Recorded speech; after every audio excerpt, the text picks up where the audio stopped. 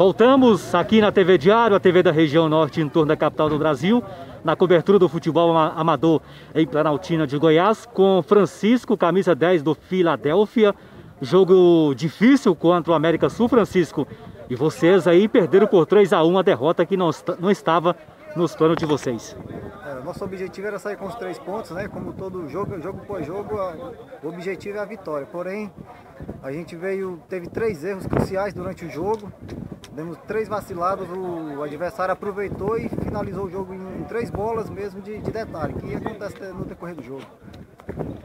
Legal, o que, que faltou aí durante os 90 minutos para o time acertar? Porque o time errou muito, né? Sim, a, o nosso erro maior ali que a gente conversou dentro de campo depois foi o distanciamento entre, entre as posições dos jogadores. A gente deixou alguns buracos que o, que o adversário aproveitou os espaços que a gente acabou deixando do campo e foi, foi feliz em três bolas.